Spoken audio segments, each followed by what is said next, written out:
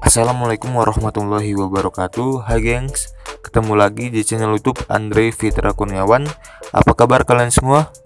Semoga dalam keadaan yang baik ya Oke geng, pada konten kali ini saya akan mereview penghasilan YouTube-nya Hanindia.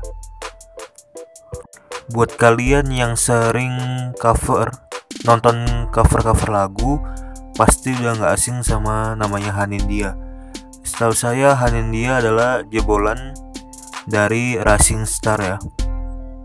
Pada saat itu dia menjadi runner up Tentu saja di sini saya akan mereviewnya berdasarkan data dan fakta yang bersumber dari socialblade.com ya geng. Oh ya, buat kalian jangan lupa subscribe channelnya Hanindia dan channel ini jangan lupa like, comment, and share-nya. Langsung saja geng kita beralih ke socialblade.com ya.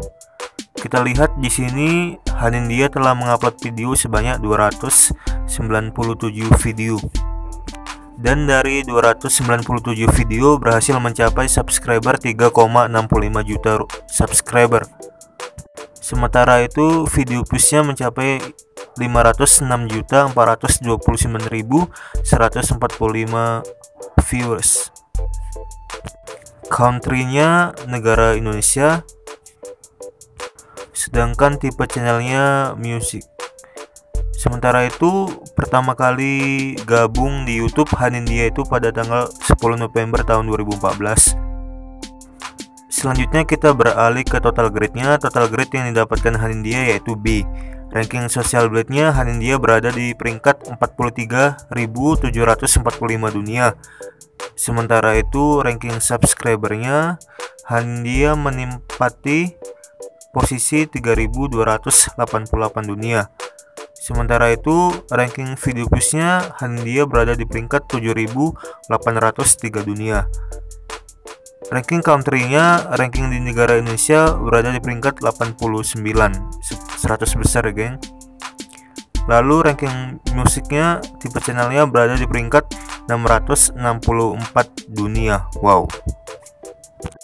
Kemudian dalam 30 hari terakhir, subscribernya Handia mencapai 20.000 Sementara itu 30 hari terakhir juga video views Hanindia mencapai 4,489 juta. Turun sebanyak 4,4 persen. Kemudian geng kita beralih ke estimasi penghasilan per bulan dan per tahun yang didapatkan Hanindia dari YouTube. Estimasi penghasilan per bulan Hanindia dari YouTube itu sekitar 1100 dolar sampai 18.000 dolar Sementara itu estimasi penghasilan per tahunnya itu mencapai 13.500 dolar sampai 215.500 dolar. Wow. Karena pendapatannya masih dalam mata uang dolar, ayo kita ubah ke mata uang rupiah kira-kira berapa nominalnya. Estimasi per bulan yang minimum itu 1.100 dolar dikali 14.000 rupiah. Nilai dolar hari ini jadi totalnya 15.400.000 rupiah. Kemudian estimasi per bulan yang maksimum itu 18.000 dolar dikali 14.000 rupiah nilai dolar hari ini. Jadi totalnya 252 juta rupiah.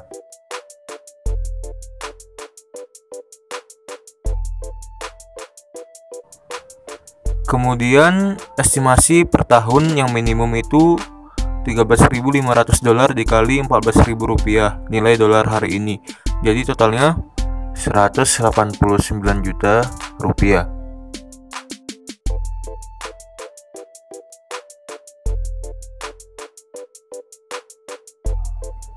Kemudian estimasi per tahun yang maksimum itu sekitar 215.500 dolar dikali 14.000 rupiah nilai dolar hari ini. Jadi totalnya 3 miliar 17 juta rupiah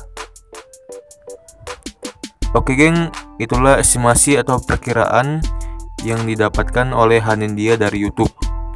Mohon maaf apabila ada salah kata. Sekian konten kali ini. Apabila dari kalian ada yang ingin merequest apalagi yang mau direview, silahkan komen di bawah ini.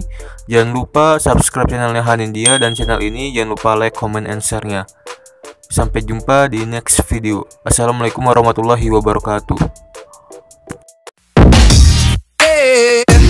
No, no, no.